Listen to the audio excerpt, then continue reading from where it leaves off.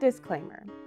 To comply with the California SB 553 training requirements under California Labor Code Section 6401.9, this course must also be supplemented with an opportunity for interactive questions and answers with the person knowledgeable about the employer's plan, along with material specific to the employer's workplace plan.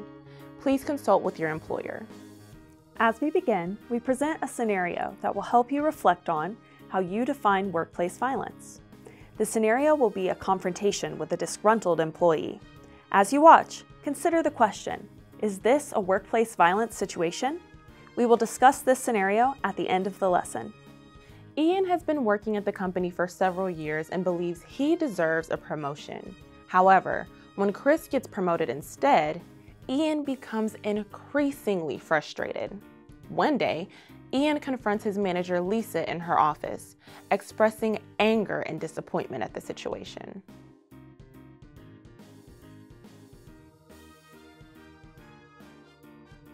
In September of 2023, Senate Bill SB 553 became law in California, effectively amending California Labor Code 6401.7 and adding a new section, Section 6401.9. In this course, we will break down the key components of this edition and discuss what it means for employers and employees in California. In simple terms, Section 6401.9 is a crucial addition to the Labor Code. It mandates that employers in California establish, implement, and uphold comprehensive workplace violence prevention plans across all work areas. It also outlines the specific requirements for these prevention plans. Unfortunately, workplace violence is more common than many people realize. Therefore, it's essential that everyone understands what it entails and how to prevent it. In this lesson, we will define workplace violence, define threats and the four main types of workplace violence, and discuss potential behaviors that may lead to workplace violence incidents. Workplace violence is any act of violence or threat of violence that occurs in the workplace with a high likelihood of resulting in an injury, psychological trauma, or stress. This includes the threat or use of force against an employee, as well as the threat or use of firearms or other dangerous weapons. It's important to note that actual injury is not required for an incident to be considered workplace violence. And it's crucial to remember that workplace violence does not include lawful acts of self-defense or defense of others. Next, let's define a threat. A threat is an oral or written statement or any behavioral or physical conduct that conveys or is perceived to convey an intent to cause harm or fear of physical harm with no legitimate purpose. Threats can be conveyed by oral or written statements, text messages, social media messages, or any other electronic messages or online post. Being vigilant and reporting these situations before they become violent can save lives. Safety is everyone's responsibility. There are four main types of workplace violence. Each type represents a distinct category of workplace violence and has its own unique characteristics and challenges. Type 1 violence occurs when a person enters the worksite with no legitimate business reason and intends to commit a crime. This includes incidents such as robberies, burglaries, or assaults perpetrated by individuals who have no connection to the workplace other than their criminal intent. To help prevent Type 1 violence and protect staff and property, employers should implement security measures such as access controls, surveillance cameras, and employee training specific to this type of violence. Type 2 violence is a workplace violence directed at employees. Perpetrators can include customers, clients, vendors, patients, visitors, inmates, or students who become aggressive or violent while they're interacting with employees.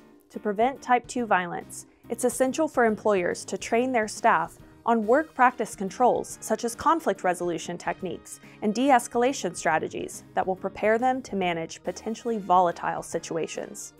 Additionally, having clear policies in place for handling disruptive individuals and providing support to employees who have been subjected to violence is crucial for maintaining a safe work environment. Type 3 violence is workplace violence against an employee by a present or former employee, supervisor, or manager. This type of violence may arise from conflicts between coworkers, disputes over promotions, disagreements about work related matters, or even personal grievances spilling over into the workplace.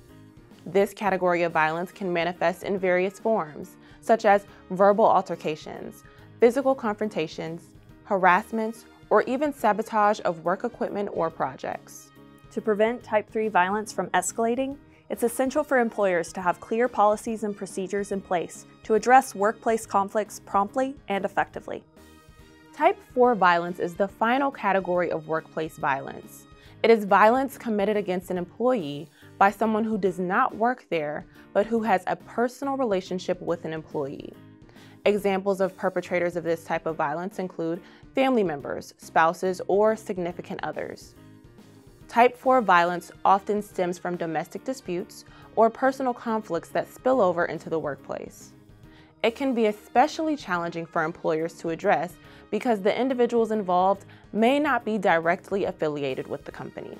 To help prevent Type 4 violence, employers should establish protocols for handling situations involving non-employee perpetrators, including notifying security personnel, implementing restraining orders if necessary, and providing support to the affected employee. Additionally, educating employees about the signs of domestic violence and encouraging them to report any concerning behavior can help mitigate the risk of type 4 violence in the workplace. It's crucial for everyone in the workplace to be aware of and recognize potential behaviors that could escalate to workplace violence. Specific indicators include abrupt changes in behavior, inability to concentrate on the job, decreases in productivity, deteriorating personal hygiene, poor attendance, suicidal behavior, veiled threats, inappropriate comments, sabotage, aggressive outburst, comments on suicide, excessive displays of anger, obsessions, and the use of violence to project power and control others. By understanding and addressing the root causes of workplace violence, employers and employees can create a safer and more secure work environment for everyone. It's essential for employers and employees alike to be aware of these risks and respond appropriately to prevent workplace violence. Remember, safety is everyone's responsibility. Remember the scenario at the beginning of the lesson? Using what you've learned so far in the course, let's revisit the initial question. Do you think it demonstrated a workplace violence situation? The correct answer is A. The scenario didn't represent workplace violence unless Lisa felt personally threatened by Ian's anger. Lisa could apply de escalation techniques when meeting with Ian. Reaching out to HR to discuss Ian's grievances and behavior would also be an appropriate solution. Did your initial answer change after learning more about workplace violence? But what if the conversation escalates? Watch what happens next. Ian seems to have raised his voice and made a physical effort to crumple and throw a paper ball. He also made threats about taking matters into his own hands. Do you feel this has now become a behavioral concern? Yes, this would be considered workplace violence. Based on what you learned in this lesson, which type of workplace violence would this situation be an example of? The correct answer is type 3, Type 3 is committed between employees or former employees.